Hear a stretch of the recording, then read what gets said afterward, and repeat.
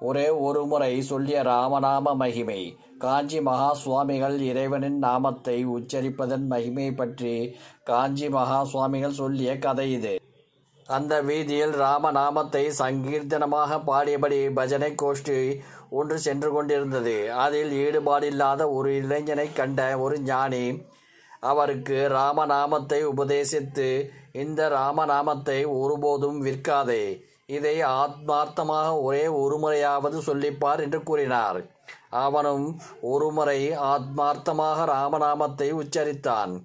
அதன் பிறகு அவன் அதை உச்சரிக்கவில்லை. கால ஓட்டத்தில் அவன் இறந்து போனான். யமலோகத்தில் இருந்து வந்த தூதர்கள் அவனது ஆத்மாவை கொண்டு போய் யமதர்மனின் முன்பாக நிறுத்தினர். யமதர்மன் அவனுடைய பாவ புண்ணிய கணக்கை பரிசீலித்தார்.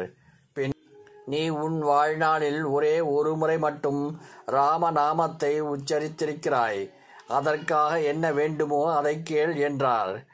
அப்போது அந்த ராமநாமத்தை ஒருபோதும் விற்காதே என்று ஞானி சொன்னது அவன் நினைவுக்கு வந்தது. உடனே அவன் இன்னது வேண்டும் என்று கேட்காமல் ராம நாமத்திற்கு நீங்கள் என்ன தர வேண்டுமென்று நினைக்கிறீர்களோ அதை தாருங்கள் என்றான். திகைத்து போன யமதர்மன் ராம நாமத்திற்கு நாம் எப்படி மதிப்பு போடுவது? இந்த விஷயத்தை இந்திரனிடம் கொண்டு போகலாம் என்னோடு வா என்றார்.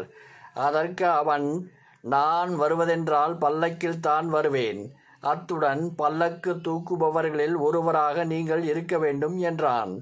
ராம நாமத்திற்கு மதிப்பிட்டு சொல்லும் வரை அவன் சொன்னதை செய்துதான் ஆக வேண்டும் என்பதால் யமதர்மன் அதற்கு ஒப்புக்கொண்டார். அவனை பல்லக்கில் உட்கார வைத்து சுமந்து கொண்டு இந்திரனிடம் போனார். இந்திரனோ ராமநாமத்தை என்னால் எடை போட முடியாது. பிரம்மதேவரிடம் கேட்போம் வாருங்கள் என்றார். யமதர்மனோடு இந்திரனும் சேர்ந்து பல்லக்கு தூக்கினால் நான் வருவேன் என்று மீண்டும் அவன் நிபந்தனை விதித்தான். அதற்கு இந்திரன் ஒப்புக்கொண்டான். பல்லக்கை சுமந்து கொண்டு பிரம்மாவிடம் சென்றனர். அவரும் ராமநாம மகிமை சொல்ல என்னால் ஆகாது. வைகுண்டம் போய் அந்த பரம்பொருளையே கேட்கலாம் வாருங்கள் என்று சொல்ல அவரும் பல்லக்கு சுமக்கும்படி ஆயிற்று. அனைவரும் மகாவிஷ்ணுவிடம் சென்று அந்த பல்லக்கில் இருக்கும் ஆன்மா ஒரு முறை ராமநாமத்தை சொல்லியிருக்கிறது. அதற்காக இவனுக்கு என்ன புண்ணியம் என்பதை தாங்கள் தான் கூற வேண்டும் எங்களால் முடியவில்லை என்றார். இந்த ஆன்மாவை பல்லக்கில் வைத்து நீங்கள் எல்லோரும் சுமந்து வருகிறீர்களே இதிலிருந்தே ராமநாம மகிமை தெரியவில்லையா என கூறி பல்லக்கில் இருந்த ஆன்மாவை தன்னுடன் சேர்த்து கொண்டார் மகாவிஷ்ணு.